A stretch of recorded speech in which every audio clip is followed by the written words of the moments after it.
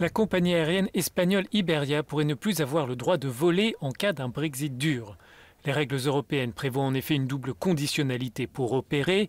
Il y a d'une part la propriété des actionnaires, qui doit être majoritairement des investisseurs européens, et puis il y a la question du contrôle, appelé aussi droit politique. Le problème à l'heure actuelle est plus une question de propriété que de contrôle, semble-t-il, depuis qu'Iberia a signalé à la Commission européenne que la propriété est dans les mains britanniques, mais que le contrôle relève d'entreprises espagnoles. Comme la condition est double, propriété et contrôle, il est possible que la Commission ne soit pas convaincue. Iberia transporte tous les ans 19 millions de passagers et emploie plus de 17 000 personnes.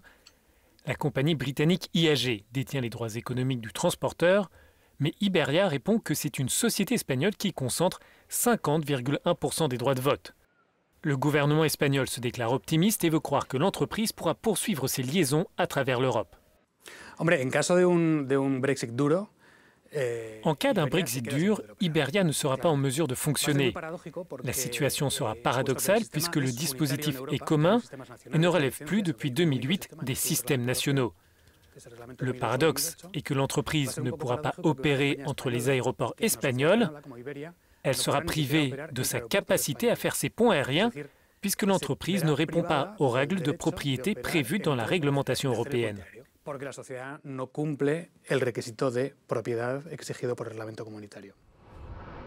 C'est le ministère espagnol des infrastructures qui est responsable des licences d'exploitation.